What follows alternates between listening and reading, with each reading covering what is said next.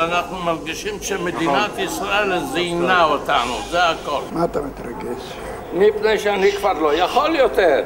זה לא עושק של יהודי בן 80 היום, זה עושק של יתומים.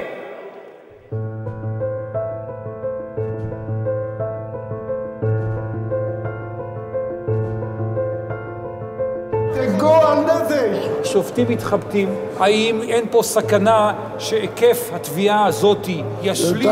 השלכות רוחב על כל ניצולי השואה? באתי ארצה, ילד בגיל שש. לא היו לי אבא ואימא. מה זה אפוטרופוס בעברית? זה אב. האפוטרופוס שלי זה הייתה המדינה. אבא גנב. מה דעת היושבים פה לגבי הפגנה מיידית? תפסיק להיות ג'נטלמנים. כשהייתם קטנים זרקתם אבנים עליי. תנסו גם שמה לזרוק קצת אבנים. אל תסתמו לנו את הפה.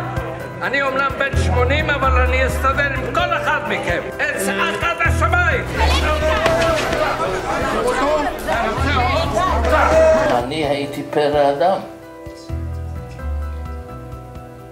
פרא אדם. מה היום אתה?